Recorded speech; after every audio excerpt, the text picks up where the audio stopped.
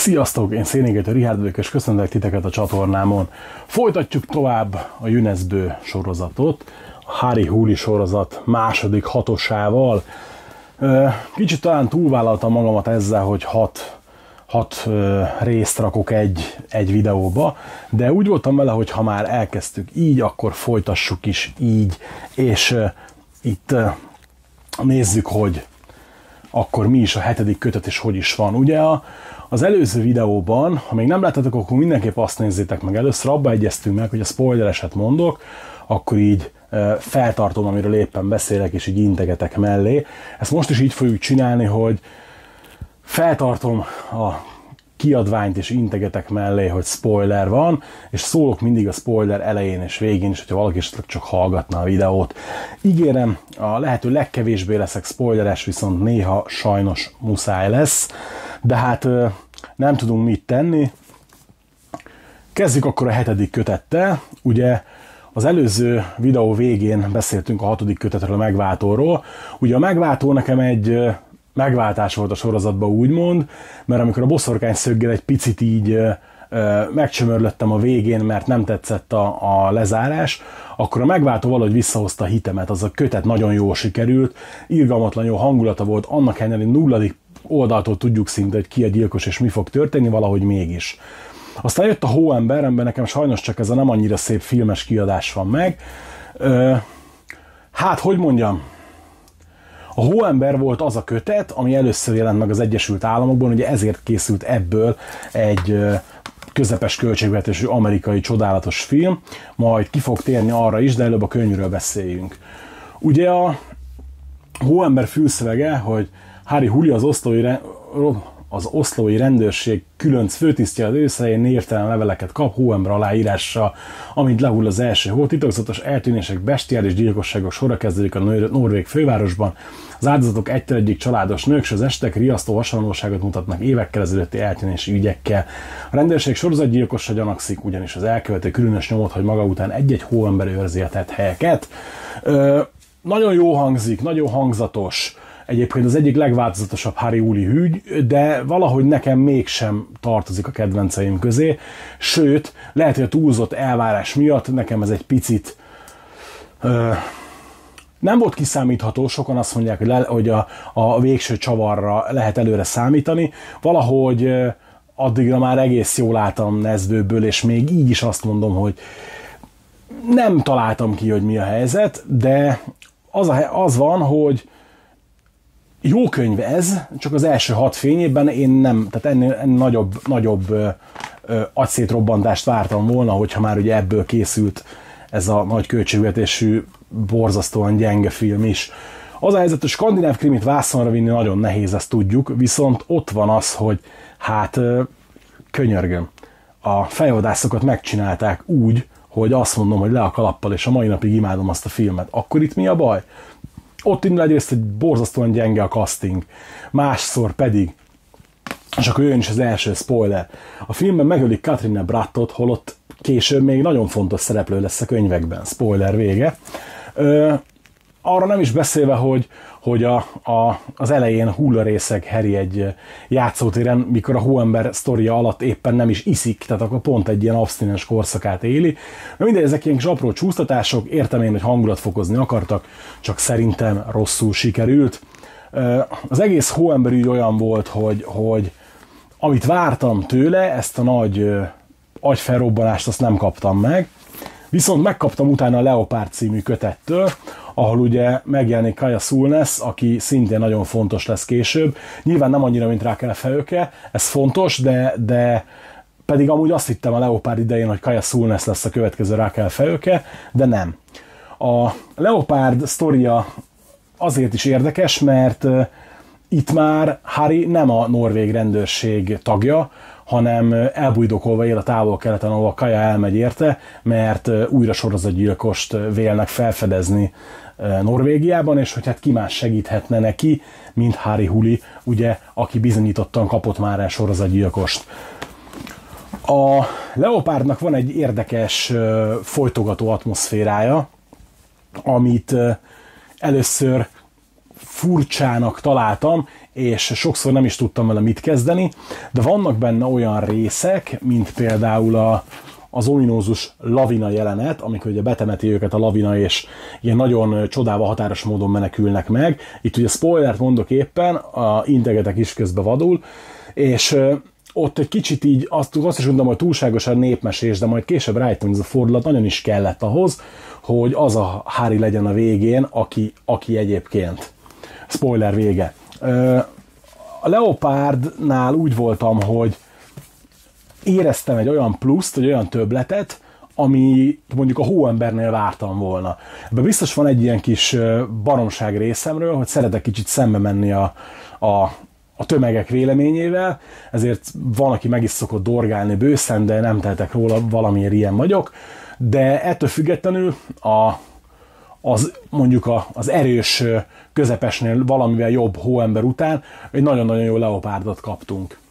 És a leopárd után jön az a rész a Harry Hoodie sorozatban, ami szerintem a tetőpont tetőpontjának a tetőpontja, mégpedig a kísértet. Ez volt az a kötet a sorozatban, ahol azt mondtam, hogy figyelj, ezt nem lehet már fokozni. Tehát, hogy ez itt, itt már, ez már tényleg annyira nem is tudom mi a jó szó rá. Ismét spoiler következik, az, hogy Raquel fiát sározzák be kvázi, és lesz belőle rossz fiú, és lesz egy teljesen más Oleg, mint akit megismertünk az első X kötetben, az valami egészen elképesztő. És az, hogy utána olyan fordulatok vannak a véges végig a könyvben, hogy borzasztó, egyszerűen spoiler vége, igazából csak az Oleg rész volt a spoiler, tehát, hogy nem is tudom, hogy, hogy talán mi, a, mi lenne a jó szó erre, vagy mi az, amit tudnék mondani, ami érzékelteti azt, amire gondolok, hogy itt nem az van, hogy van egy nagyon-nagyon erős utolsó negyed, utolsó ötöd, hanem itt én szerintem a könyvnek a komplet második fele borzasztó erős. Biztos, hogy ebbe belejön a politikai intrikus szál, amiket én eleve szoktam szeretni. Biztos, hogy ebbe belejön az, hogy itt egy kicsit talán dominánsabb a, a, a krimi thriller vonal, mint a, a korábbiakban, amely egy skandináv kriminél hülye hangozhat, de ha valaki elolvassa a könyvet, akkor érezni fogja. Maga a végkifejlet pedig valami elképesztően torokszorító. Itt jön egy spoiler ismét, szólok előre, tehát az van, hogy van egy rész, amikor egy vízzel elárasztott alagútban meg kellene fulladni a Hárinak, de egy üres viszkisüvegből vagy miből nyer annyi levegőt, hogy ki tudjon úszni az alagútból. Ez pár embernek eléggé vicces, vagy eléggé fasságnak tűnt. Nyilván értem a problémájukat, viszont az a helyzet, hogy szerintem ennyi bőven bele kell, hogy férjen. Spoiler vége. A kísértet volt az a kötet, aminek úgy lett vége, hogy azt mondtam, hogy Nezbő, a kurva anyádat, már elnézést, hogy ezt mondom, de ez a úristen, mi lehet a folytatása, vajon mi lesz, és, és én tudni akarom azonnal, és már is, és rögtön. És azt mondom, hogy ha itt lett volna vége a sorozatnak, akkor úgy tennénk fel a polcra azt a kilenc kötetet, hogy az egyik legcsodálatosabb dolog, ami a, a krimi történelemben történt, és aztán kezeink közé kaphattuk, de nem lett vége, cserélek könyveket, nem lett vége, mert megszületett ugye az utolsó harmad is, pontosabban el, el eddig utolsó harmad, és az van, hogy spoiler következik, hogy a polisz elején valaki kórházban fekszik, élet-halál között, és vigyáznak rá, mert ugye a, a kísértet végén, nek, kísértetnek úgy van vége, mint hogyha Harry meghalna. És ugye itt egészen a, a 130-40-50. oldalig, amik először jelenik meg Harry a könyvben, azt hiszük, hogy ő van kórházban. De nem, mert ez egy Nesbő Spoiler vége. Tehát a tizedik kötet, a Police, amivel megmondom őszintén, egy kicsit bajban voltam az elején, mert úgy voltam vele, hogy nem, nem, nem tudom, nem nyert el úgy igazán a tetszésemet, ugye a Katrina Bratz szállít már nagyon erős, nagyon domináns a könyv elején, teljes mértékben ő a főszereplő, így ez a, ahogy olyan is írták egy páran kommentekbe, azt is hittem, hogy rossz könyvet vettem le a polcról. Nyilván nem, tehát hogy tudtam, hogy valami csattanó lesz itt, de azt, hogy ez az egyik leghosszabb kötet a sorozatban, az meglepett, mert hogy nem igazán értettem, hogy ez a, ez a polisz, ez mitől annyira nagyon jó, hogy volt, aki azt mondta, hogy ez a legjobb. Hát nem mondanám, főleg, hogy igazából vége sincs a kötetnek, mert az ügy a kicsit közvetve is, de megy tovább a szomjúságban, ami ugye a, a 11. kötet, és itt ugye azt tudni kell azért szépen lassan sorban több karakter is elhullik a, a sorozatban, nagyon sok olyan, akit, akit esetleg ugye szeretünk, nem szeretünk, szerettünk, nem szerettünk. Ugye itt a kísértetben, vagy a poliszban Hárit visszahívják a, a, újra az osztói rendőrségbe, újra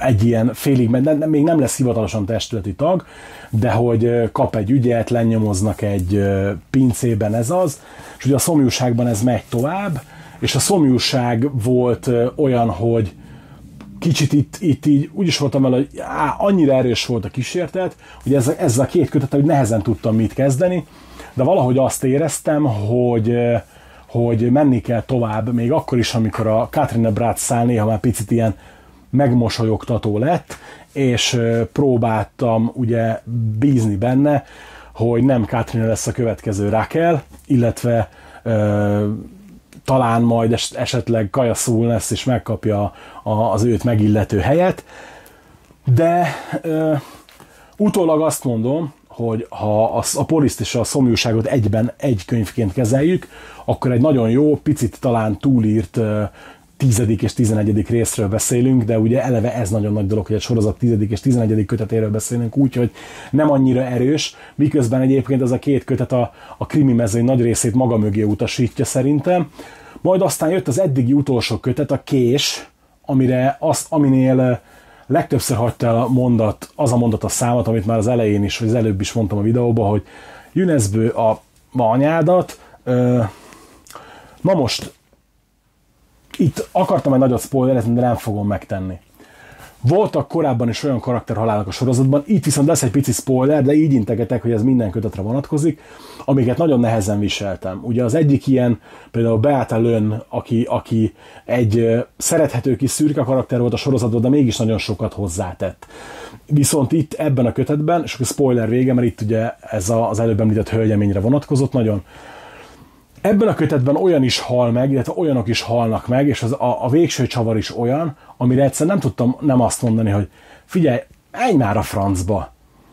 És az van, hogy amikor olvastam a kést, akkor azt mondtam megint csak, hogy ha itt vége lenne a sorozatnak, talán azzal tenné a legjobbat Nezbő.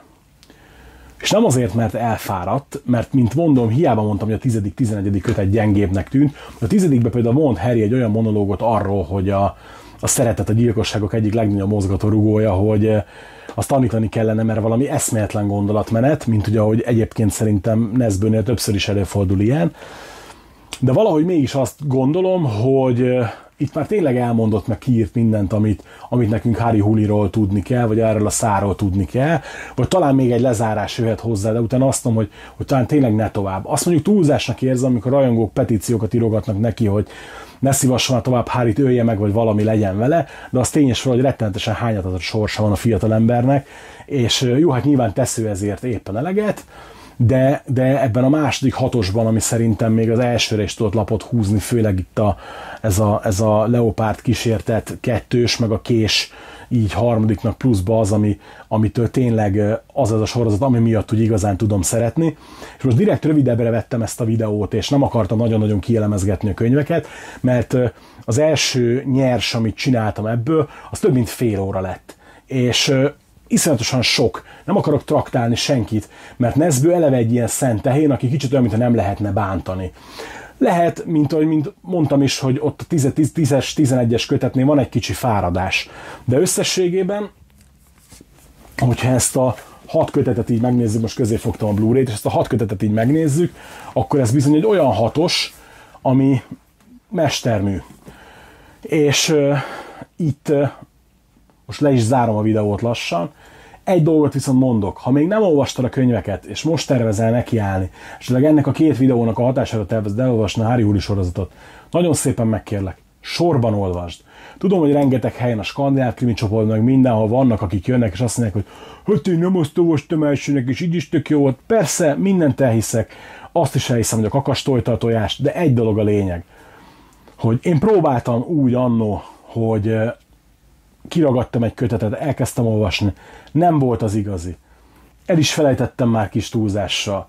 Leültem, és egyben végigolvastam 1-től 12-ig, hogy olyan katartikus élmény nyújtott, amit külön-külön nem. Mondtam az előző videóban, az első két kötet még nem az igazi. A hármas meg még egy kicsit más, a negyediktől lesz amúgy az a sorozat, aminek én például nagyon szeretem, úgy, hogy az első két kötet is nagyon jó.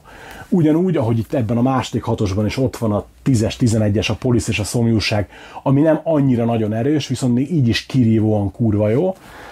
Tehát ez a 12 kötet egyben én szerintem egy csoda. Ha nekiállsz, legyél kitartó az első két kötetnél, és hogyha elolvastad, akkor várom a véleményeket. Ide a videó alá légy szíves, írd meg nekem, hogy a második hatosból neked melyik volt a kedvenced. Hamarosan jövök majd egy következő nezdő videóval is, amiben kitárgyaljuk a fejvadászokat, vagy kitárgyalom a fejvadászokat, a birodalmat, illetve a legutóbbi novellás kötetet, a féltékenység szakértőt. Köszönöm szépen, hogy megnéztetek, nyomjatok egy lájkot, ha tetszett, illetve osszátok meg a videót. A feliratkozásra nagyon hálás lennék. Rendelési link a leírásban, illetve, hogyha szeretnéd a csatornát támogatni, hogy több ilyen videó készüljön, akkor szintén a leírásban megtalált a módokon megteheted. Nagyon szépen köszönöm, hogy itt voltatok velem, találkozzunk legközelebb is, és aztán meglátjuk, hogy a következő három Nesbő köteten kívül mit lehet még kihozni a fiatalember munkásságába.